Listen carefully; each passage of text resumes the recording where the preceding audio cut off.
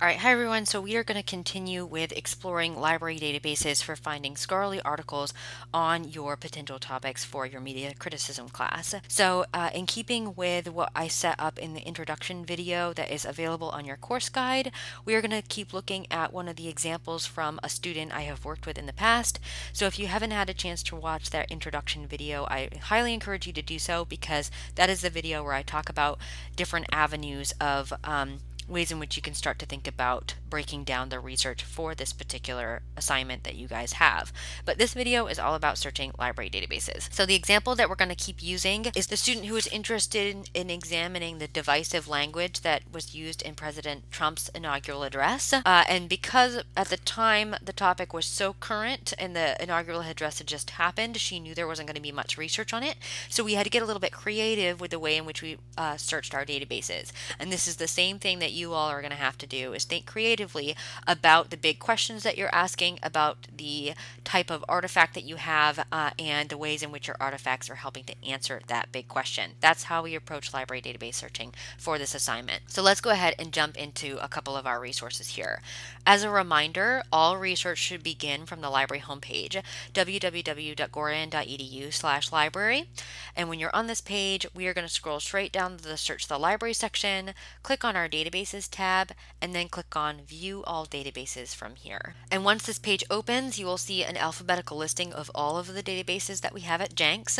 And what I would encourage you guys to do is to filter this list by subject area to communication arts. That way you're narrowing down this a little bit and you're helping to maybe select some more specific resources a little bit faster.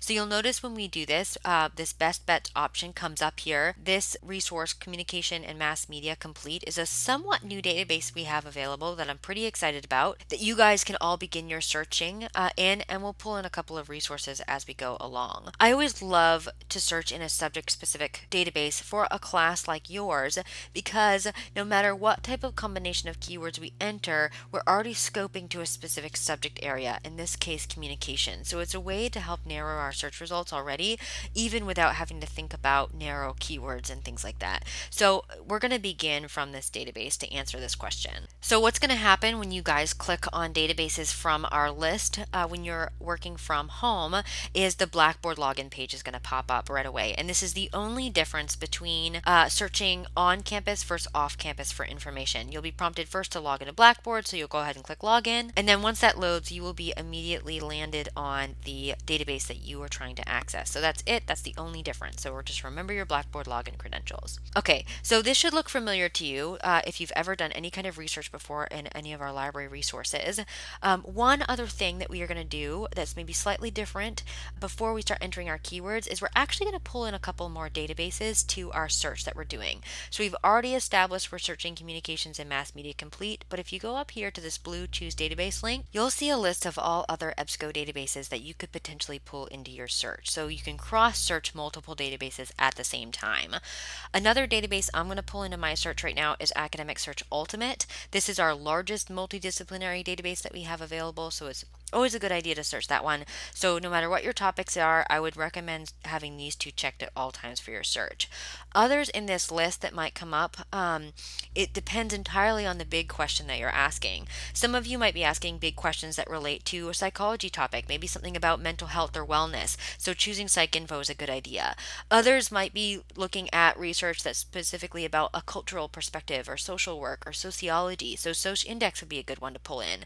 Still, others might be looking at this purely from a text perspective, like literature or language. So, MLA International Bibliography would be a good source of information for that. So, scan this list and ask yourself what other subject areas might be useful for me in my search. I think for right now, uh, we're going to keep it at just these two for the type of question that I am asking. All right, so then from there, we're going to enter in our keywords. So, uh, I recommended to her that she begin a little bit broad with her keywords. So, we started with the keyword rhetoric since she was specifically looking looking at rhetorical style and language used within presidential speeches. And then the student was specifically looking at um, divisive or division language within presidential speeches. Uh, so on the second line down, we're going to look at division or divisive to get at that kind of language that was potentially used. And notice that we're connecting those two keywords together using our OR search operator so our database understands that I want either of these terms in my search.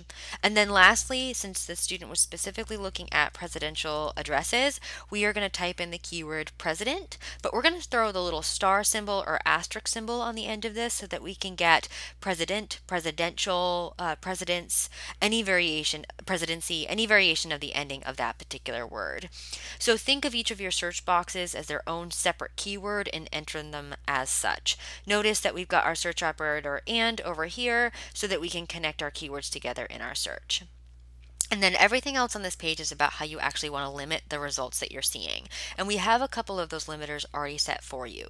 They are print at Gordon, full text in EBSCO, and full text in another database. And all that means is that the information that you're searching for, you'll have immediate access to, either as a PDF or a web document of some kind in our the times that we're living in right now i highly recommend you leave those boxes selected so that you can actually get access to the content uh, that you need right away but remember, there's always one box that's super important to check off in this list, and that is the Scholarly Peer Reviewed Journals checkbox. Select that to make sure that you're getting academic scholarly research for your paper. Once you've uh, entered your keywords and set your limiters, let's go ahead and click search. All right, so at this point, what I'm doing when I get a results like this is I'm scanning to see how did I do from my initial pass for my keywords. I'm looking at the blue title links here to the articles and seeing if any jump out at me um, as potentially ones that I want to look at. Um, obviously, this first one looks pretty good, but if we scroll down, there are others as well. Even if for my topic they're coming from a different presidency, um, all of this is generally talking about um, the rhetoric of presidential speeches. So for this particular student, some of these were really helpful. Um, all right, so let's say this top one was one that we actually really liked. Let's jump in here. And once you click on a blue title link, you are looking at the article's record page. We can learn a lot more about it, such as who are the authors, what is the journal that it's coming from. So in this case, it's the Journal of Contemporary Rhetoric. It's always a good idea to pay attention to which journals are publishing a lot in your the articles that you're finding. If you're seeing one journal or a couple journals come up over and over again, then that might be a good time for you to actually go to this journal, uh, look at search for it in Journal Finder from our library homepage and do some searches within it because that's probably a journal that publishes a lot on your area of interest. As we scroll down here, uh, we also get the abstract for the article, which can be really helpful in determining whether this is actually useful for our research or not. So read this abstract or summary, and then since we were searching with those full text limiters on, we should have the PDF or web document link right over here underneath the details record category. So click on that PDF, and ultimately this is what you'll want to read uh, for the research for your paper. So one other thing that I want to mention that I do in my research, before I even spend time reading an article like this, I'm actually going to mine it and use it for the types of sources that it can connect me to. So I'm glancing at this particular article and I notice that their sources are actually footnotes. So I'm looking at the footnotes across these pages and I'm glancing to see are there other um, articles or potentially even books that this person cited that can actually help me out here. So for example, if we were to scroll to page two here, let's say that this article here jumped out at me, seizing the moment, the presidential campaign's use of Twitter, blah, blah, blah. Um, I was really excited about that one and I was like, let's go and find it. Um, all I would need for searching uh, for this particular article and seeing if I could find it is the name of the journal, New Media and Society. And you can use our journal finder search on our library homepage for seeing if we have access to that. There is another video on your course guide that walks you through that process.